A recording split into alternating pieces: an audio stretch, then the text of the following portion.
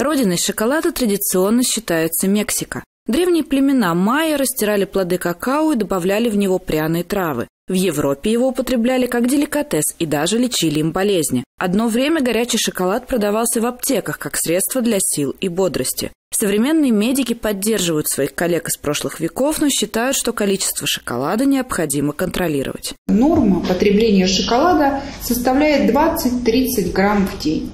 Это примерно соответствует двум-трем кусочкам молочного шоколада. А для темного шоколада, который содержит не менее 70% какао, рекомендовано употреблять около 30-40 граммов.